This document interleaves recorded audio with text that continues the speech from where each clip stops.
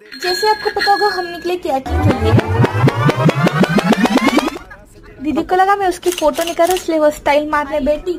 पर मैं तो कुछ निकाल ही रही थी।